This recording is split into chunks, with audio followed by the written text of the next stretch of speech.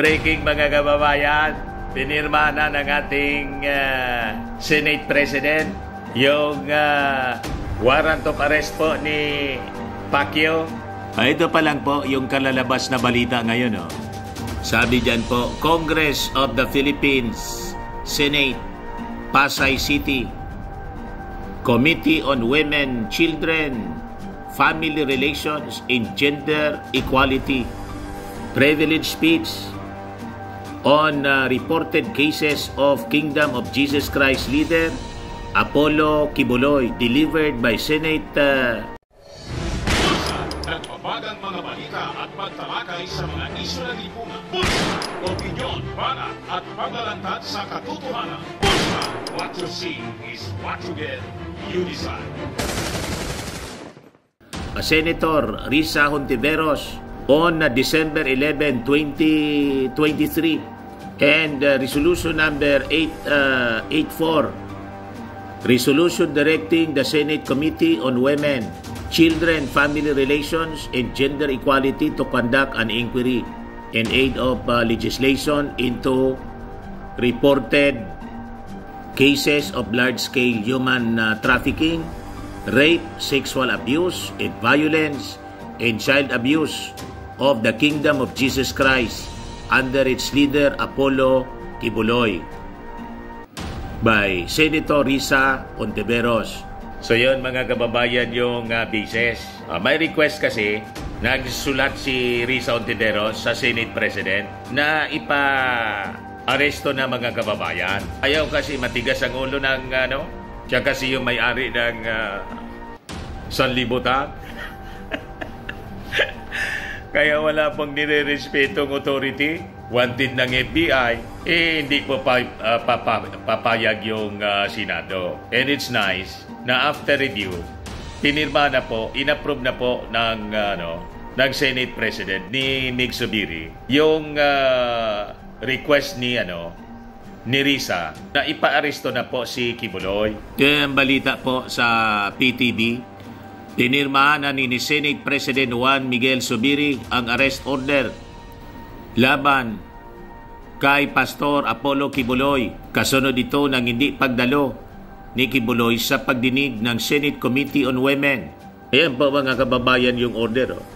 For unduly refusing to appear despite due notices at the hearings of the Committee on Women, Children, Family Relations, and Gender Equality on January 23, February 9, March 5, and uh, for merely sending his counsel to appear for his for him without justifiable reason and thereby delaying impending and obstructing the inquiry into the reported violation of human uh, trafficking, rape, sexual abuse, and violence, and child abuse.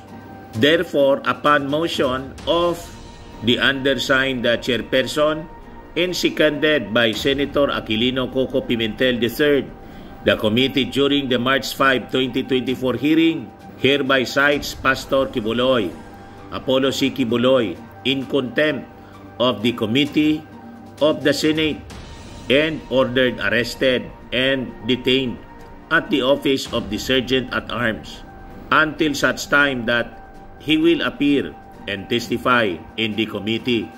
Sa mga naganap ng malinis and spacious fitness gym, bumisita lang po kayo sa aming Colossal Fitness Gym. We also offer Grab Car Rental with our brand new 2023 model ng uh, Toyota Innova. We also accept booking for those who are planning to travel via PAL and Cebu Pacific in other airline companies, local and international, and bills payment for Meralco Bills, PLDT, etc.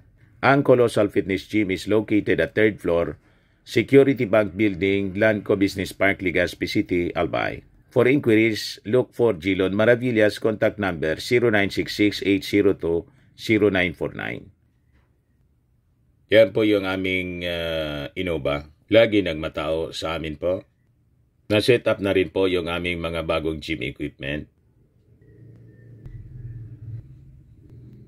May treadmill na rin po kami. Ito naman po yung bago naming uh, product na binibenta online.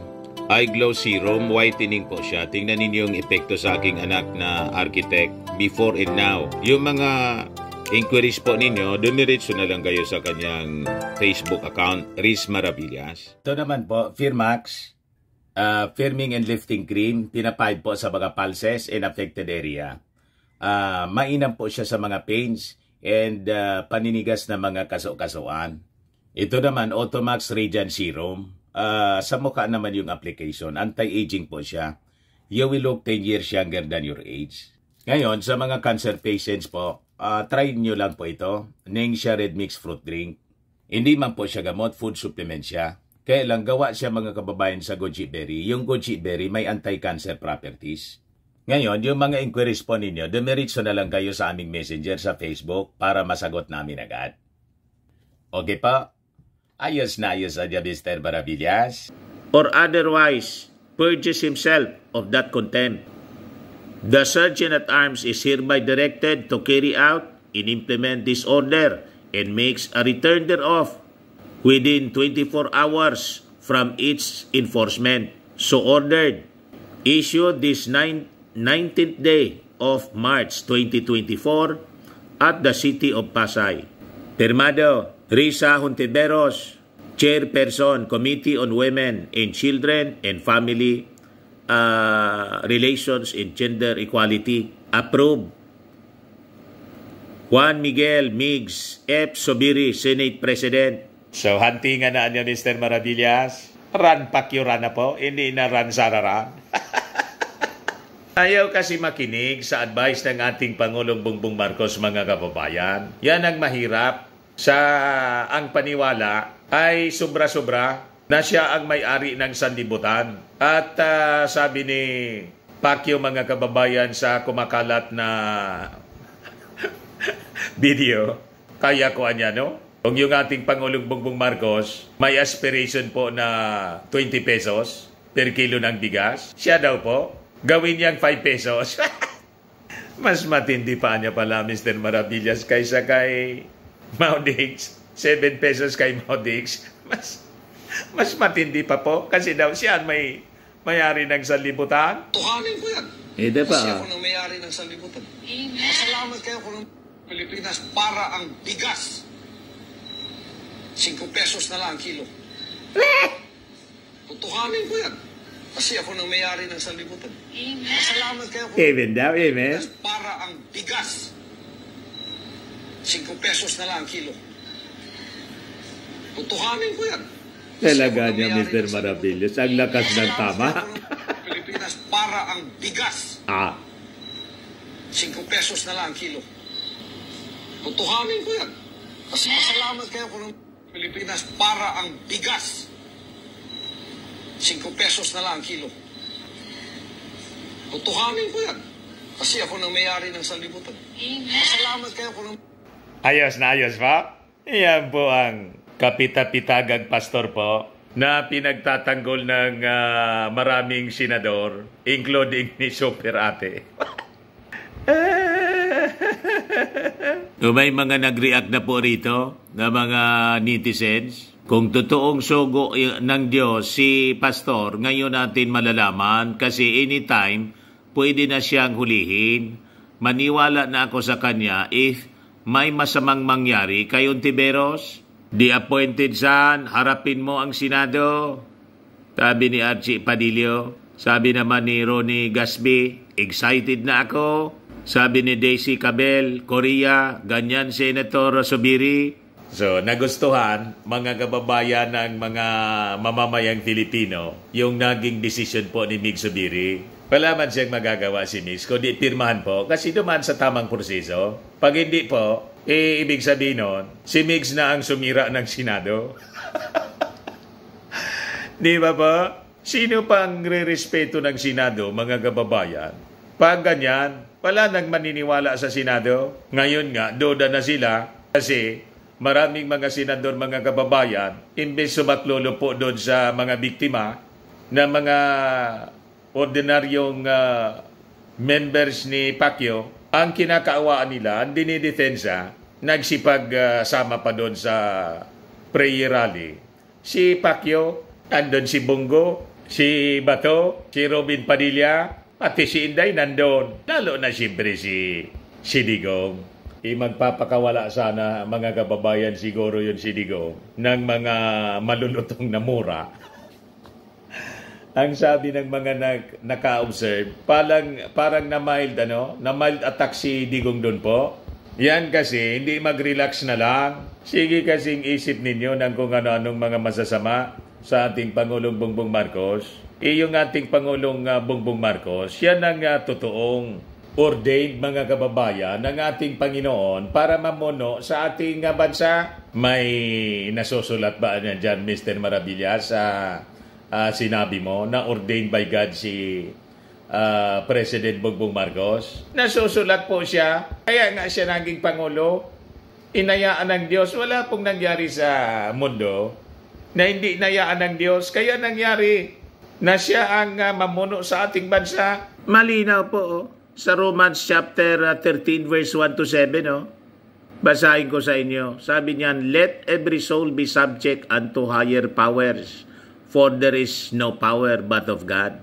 The powers that be are ordained of God. So ang may ordained mga kababayan, si President Bongbong Marcos. Kaya dapat, bawat isa sa atin nagpapasakop sa kanya. Yun ang rason po kaya sinusupport natin yung ating Pangulong Bongbong Marcos. Just like Digong, kasi inayaan si Digong na mamuno sa ating bansa. Sinuport natin. May pagkakataon at the, at the end ng kanyang uh, term, kinontra ko yung kanyang mga sinasabi, lalo doon sa pandemonyo. Pero hindi po tayo nanawagan na mag-resign.